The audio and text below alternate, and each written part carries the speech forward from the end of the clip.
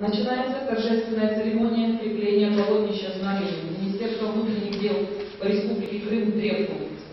Почетное право прибытия первого гвоздя предоставляется министру внутренних дел по Республике Крым, полковнику полиции Сергею Вадимовичу Арзову.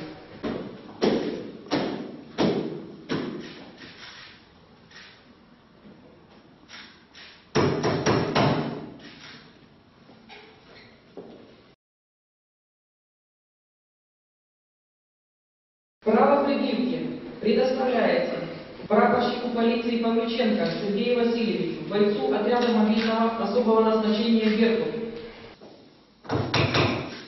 Старшему прапорщику внутренней службы Савченко Михаилу Витальевичу, водителю сотруднику автохозяйства.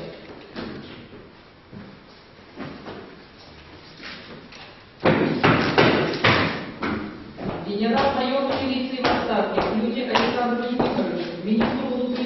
Крыма в 1993-1994 годах ветеранов органов внутренних дел.